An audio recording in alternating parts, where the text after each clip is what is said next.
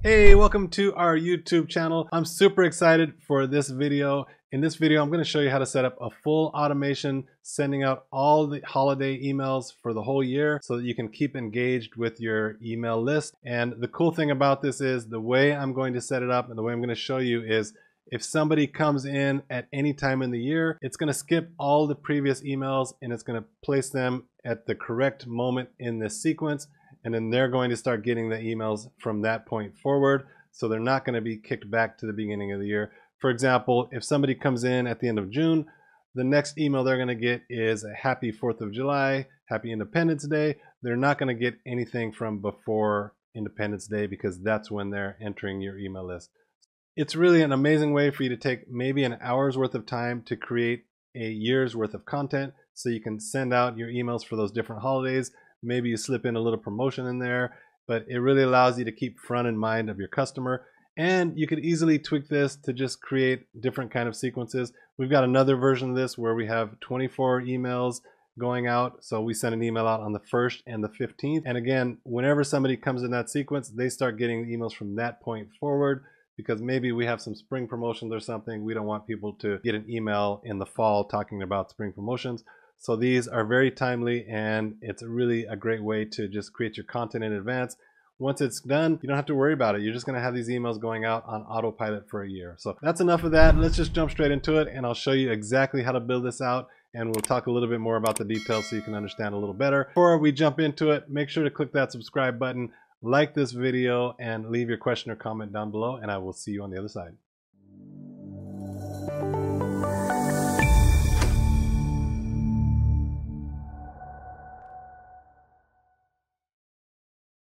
In this video, we're going to make an automation that's going to send an email to our contacts for every holiday in 2024. So the first thing I did was I went into ChatGPT and I asked it to give me a list of all of the holidays for the United States in 2024. And it gave me 11 holidays starting with New Year's Day, ending on Christmas Day. And additionally, we're going to use January 1st as our reference date. So I asked it to give me a list of how many months and days for each one after January 4th. So for example, President's Day is on February 19th, so that's going to be one month and 19 days after January 1st. And you'll see why that's relevant here in a few minutes. And I just asked it to give it to me in table format so it's easy to reference as I'm building this out. So next thing we're going to do is we're going to go into our automations. We're going to create a workflow and we're going to start from scratch.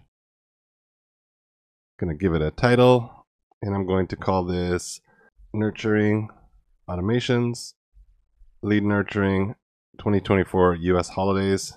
I'm going to save that.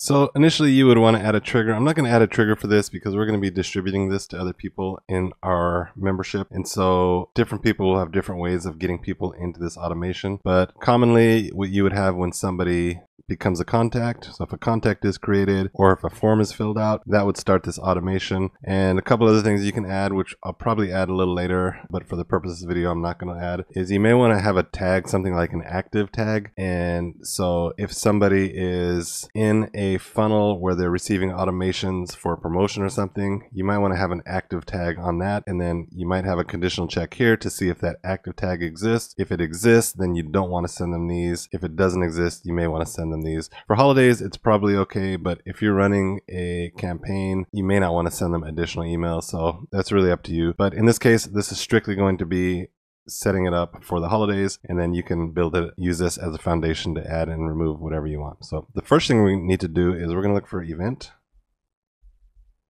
and we're going to set event start date so we're going to just say set start time to January 1st 2024 and then for the type, it's going to be a specific date and time. And then we'll make that January 1st, 2024. And I'm going to make that 8 a.m. And then we'll save that. So let me come in here and add that as well. January 24 at 8 a.m. So what this does is this sets the reference point for this automation. So everything is going to be referencing this event start date, which is January 1st, 2024. So the next thing we want to do is we're going to add a wait step. So we're going to say wait. And then instead of time delay, we're going to change that to event appointment time. That's waiting before or after an event start time or an appointment time. And so we wanted to start after January 1st. And so our first holiday is going to be New Year's Day. So we're going to just make this one hour. So maybe 9 a.m. on January 1st, we're going to send this out. So we're going to wait one hour. Well, let's actually say New Year's Day. January 1st, 2024. And then in parentheses, I'm just going to say plus one hour just to give me a reference so that I'll be able to see that. So we're going to say is after our start date of January 1st, 8 a.m., we're going to wait one hour. So this is going to go out January 1st at 9 a.m. And then we're going to leave this here where it says skip all outbound communication actions and then till the next wait or event start date. So what that means is if somebody comes in after January 1st, they're not going to be sent this action here. It's going to go to the next wait step. So we don't want somebody coming in in June and then receiving emails for New Year's Day which happened several months ago. So this is going to prevent that from happening. It's going to look at the date and it's going to keep moving until it gets to the wait step, which is appropriate to when somebody joined this list. So we'll save that. And then we're going to set up an email here. So we're going to send an email. This could be an SMS, whatever you want to do at that time. In our case, it's going to be an email. So we're going to say email one. This is going to be New Year's Day. And we'll just leave it at that. So I'll just copy this here and I'll put this in the subject line. Of course, for your subject line, you'd want to put something more like Happy New Year's. Well, let's just say that Happy New Year's. And we may build out some templates that you can select here, or you can build out your own templates, or you can just type in a text email here saying Happy New Year's, whatever your preference. So for this automation currently, and for this video, I'm not going to actually build out the emails, so I'm just going to leave this blank for now, and we'll come back and take care of that when we're ready to go. So that's the first one, New Year's. The next one is going to be Martin Luther King Day on January 15th. So I'm actually going to copy this action. I'm going to copy both of these here and paste it here. So now I can just edit this one. So this is going to be MLK Day, and this is January 15th. So we're going to be waiting 14 days. So I'm just going to change this to 14 days. And now we're going to change the hours. I'm going to actually leave it at one hour so that we're going to send them at 9 a.m. So we'll say 14 days, one hour. And then for days, we're going to say 14. So again, this is going to be starting January 1st. We're going to wait 14 days after that, which will be January 15th. And then we're going to also wait one hour, which will be 9 a.m. And we'll just leave this checked here and then we'll save that as is. And then here, we'll just change this to email 2, MLK Day. And the same thing here is Happy Martin Luther King Jr. Day. We'll save that. And that's it. So we'll just continue building this out for the rest of the year. And again, we have 11 holidays, so we'll just duplicate this. Now I could just clone these whole, all four of these here.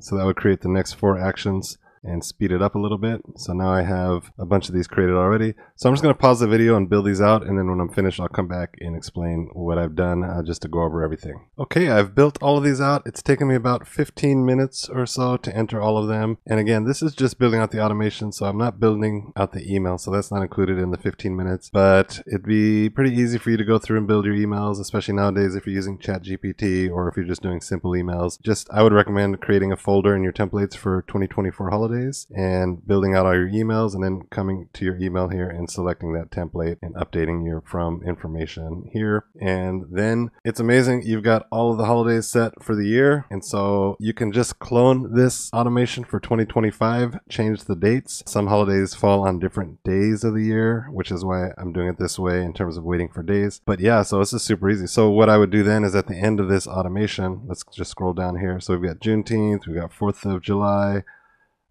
and just again to give you a reminder of what we did here. So let's say Thanksgiving. You can see I shortened some of these to Turkey Day because the name can only be so many characters. So you may have to shorten that or change your formatting. Or maybe your date would be 11 slash 28 slash 24. Uh, however you want to handle that. You can see here Thanksgiving is November 28th. So after January 1st, we're going to wait 10 months. So we're going to wait until November and then 27 days. So we're going to wait until November 28th and then one hour. So 9 a.m. You may want to send these before the holiday. You can adjust the times as you wish. So this is just a starting point for you. The other thing I would recommend doing is before I cover that, one other thing I'd like to add is make sure you double check the output with ChatGPT. So it told me Thanksgiving Day was 11 months and three days later. So you just want to make sure sometimes when you're doing calculations like that, towards the end of them, they start falling apart. So just make sure you double check those dates and you just don't assume everything ChatGPT gives you is correct. Google Gemini did the same thing. November, December dates were off. So just the holiday dates were correct, but the dates after January 1st were calculated incorrectly. So just make sure you don't take that as gospel.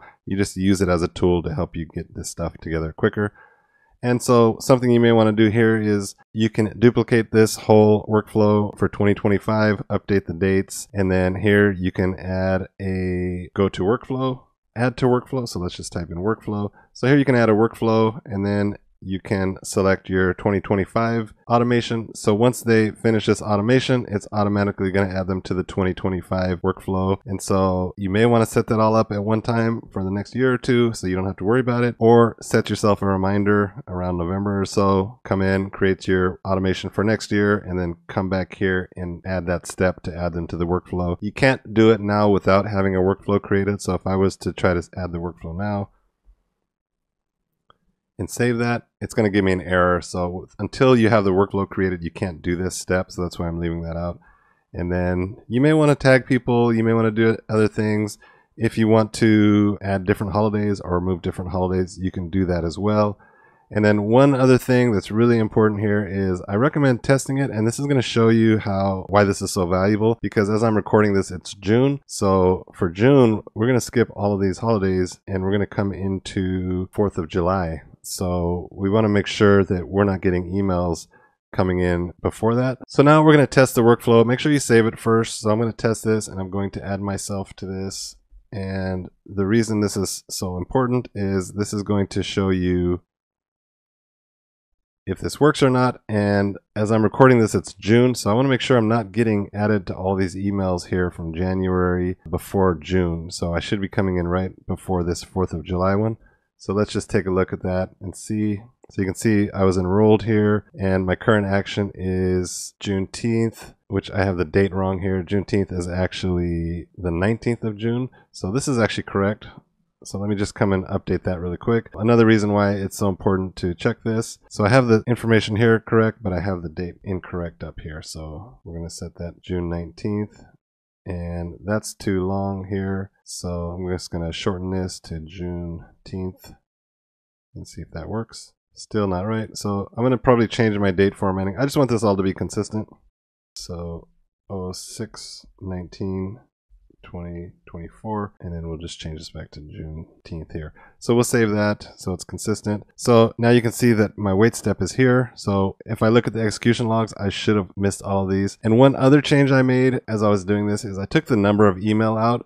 Uh, the reason I did that is if I decide I want to add another holiday or add something in here, I don't want to have to go back and rename the number. So let's say this was email 5 and I wanted to add something between email 6. That means I have to rename email 6 to email 7, email 7 to email 8. I didn't want to do that. So I just took the names out here so that going forward, it's going to be easier for me if I need to make changes. So going back to the execution logs, we can see here skipped all of these emails. And so if you look at the details here, it was skipped because the event was in the past. So that is exactly what we wanted. And so the execution history here will show all these. And then now it shows that it's waiting. So we are waiting until June 21st, 2024, which is our Juneteenth. But the other thing that's really important is you can see my days are off now. So this is a good way to check. So I actually need to make it two days earlier because it should be on June 19th. So this is a really good way to troubleshoot. Make sure your logic is right. In my case, it's not right. So let's see what I did here. I'm going to go back to Juneteenth and we've got 619. So I need to make it actually 18 days. So my logic is backwards. I was adding a day, but I should be subtracting a day. So I'm going to going to need to go back on every one of these and then just subtract it. Let's take a look here. 18 days. And you can see this should be 18 days. So this was a user error. My chart does say 18 days. I entered it incorrectly, but this is really a great reminder that you should double check what you're entering in. Uh, easy to make these mistakes. So now if I try this again, let's save that. And we're going to just do one more test before we go here. So I'm going to test again. And we'll do a different email address here to test. And now let's check the execution logs again. And so let's see what we've got here. Let's come back and check this again. Give it a minute before you do this. We should be at a wait step here. Okay, so here we are at the wait step. Now let's view the details. So the next execution is June 19th, 2024 at 9 a.m. And that is the date that we wanted to execute. So I recommend just checking all these. So if you check, for example, here, this was skipped because it was in the past. And so this is exactly what we want. We want somebody opts in today. They're going to come into this automation at the correct time and not start receiving emails from January 1st. So one last thing I'll show you is if you wanted to combine this with a different workflow, you could do that as well. For example, we've got this one year worth of emails sent out. So every first and 15th of the month, we're sending an email. So this is a really great nurturing sequence. So if you wanted to come in here and incorporate the holidays, you could do that as well. So we would replace this January 1st email with a New Year's email. And then maybe we're going to send another email on January 15th. And then that would be maybe Martin Luther King Day. And then the next holiday would be President's Day, which would be 219. So maybe I'm going to send out a regular newsletter on February 1st. And then I want to change this February 15th email to President's Day, so I'm going to change that to February 19th. So you could easily incorporate that into this automation, which has a whole year's worth of emails built out. And this is really just a great way to keep front of mind with your contact list, sending value based emails throughout the year. You can decide the frequency. This one is set up for sending out two emails a month. You may want to do one email a month or quarterly. That's really up to you. If you are a ClickHubs member, the good news is you don't have to build this out yourself yourself. This, as well as the holidays, will be in your account. So you can just go in there and connect your newsletters and you're good to go. So we've already done this process for you. So hopefully you found that helpful. This also is a really great way to understand how event based emails work. For example, if you're running a challenge that starts on a certain day and you want to send reminders 24 hours before, one hour before, five minutes before, this is how you would do it. You would set your event start date here, which you could also use a custom value here. So if you want to be able to change that one place to impact different areas, you can do that. And then you would just set your wait time to based on when your event starts. All right, guys and gals, email is still very important for your marketing. It's free. It's something that you own. You don't have to pay for advertising. You don't have to get other people to promote you. This is your email list, people that have given you permission to send them emails. And so it only makes sense to create these type of automations so you can continue to stay in front of your people add value to them or even just wishing them a happy holiday so that you can bring goodwill to people and you're always going to be present in their mind. So I really recommend that you take some time to set these type of automations up for your own business. And that way it's just done autopilot. You don't have to remember to set up emails. You don't have to miss emails because you got busy and you didn't have time to do it. Just take a couple of hours and do it at the end of each year for the following year and you will have a ton of content ready to go. Hopefully you enjoyed this and I will look forward to seeing you in the next video. Before you go, make sure to subscribe to our channel, like this video, and leave your question or comment below and we'll get back to you. Thank you all and I'll see you in the next one.